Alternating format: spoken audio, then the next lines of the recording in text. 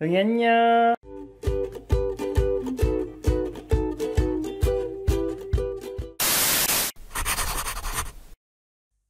안녕하세요 미인 부부입니다. 오늘은 저 혼자 이렇게 나와 있습니다. 오늘 저는 지금 병원에 왔어요.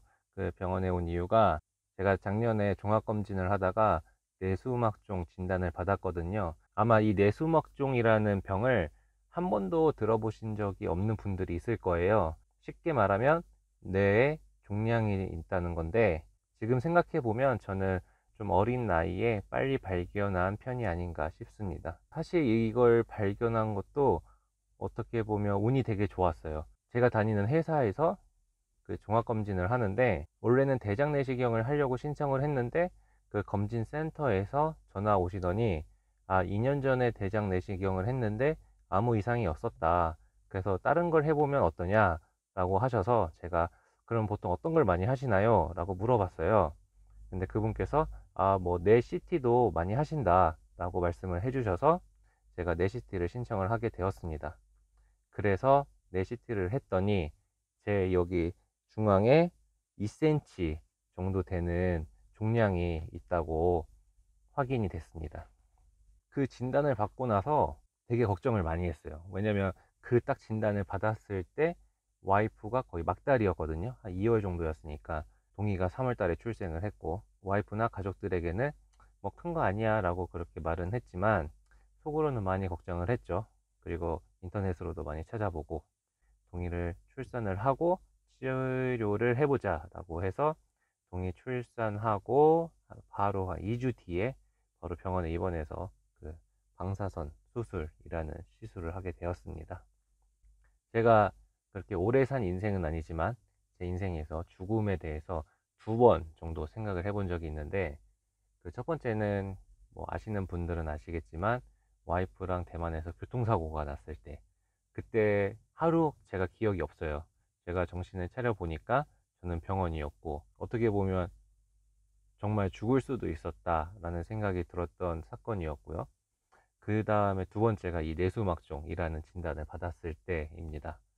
그 뇌수막종 진단을 받고 나니까 어, 또 다시 한번 아, 죽음에 대해서 생각을 하게 되더라고요. 그렇게 뭐 심각한 건 아니었지만 그래서 그렇게 생각을 하고 나니까 제가 이 죽음에 대해서 생각을 할 때마다 느끼는 거는 아 정말 할 수 있는 거는 다 해보자 그리고 항상 현실에 최선을 다하자 라는 생각을 했고 한 가지에 너무 얽매여서 살지 말자라는 생각을 많이 했던 것 같아요.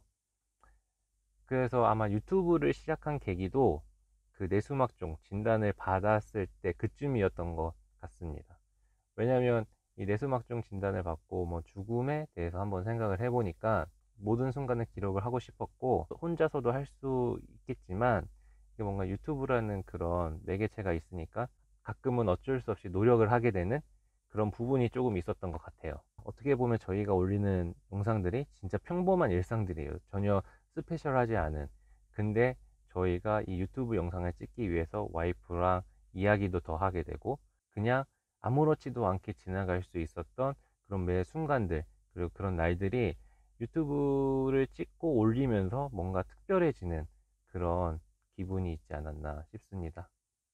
그래서 앞으로도 자주 올리려고요. 이건 제일 중요한 건데 제가 두 번 정도 이렇게 죽음에 대해서 생각을 해보다 보니까 가장 소중한 건 사랑하는 사람들인 것 같더라고요. 저를 사랑해주는 사람, 그리고 내가 사랑하는 사람, 뭐 친구들 아니면 가족들이 가장 중요하지 않나 그런 생각을 합니다.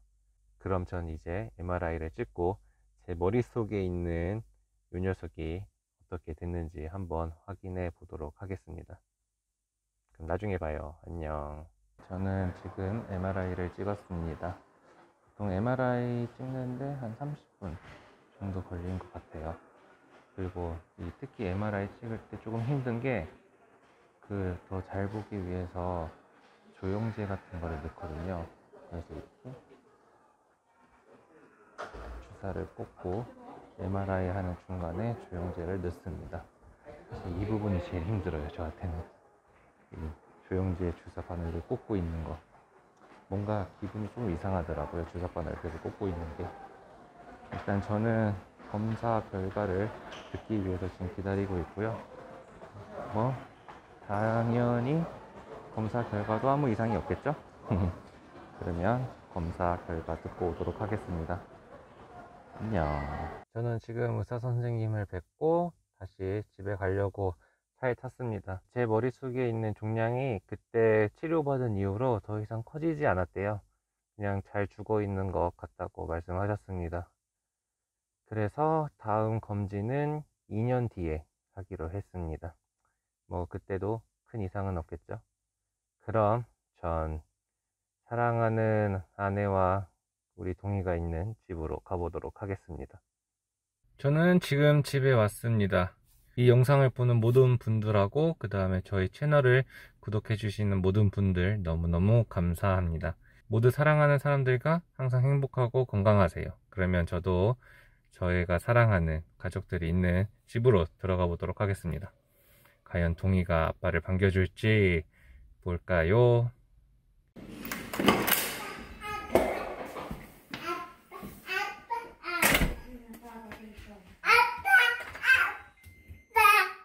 아빠, 아빠 왔어요. 동이 안녕.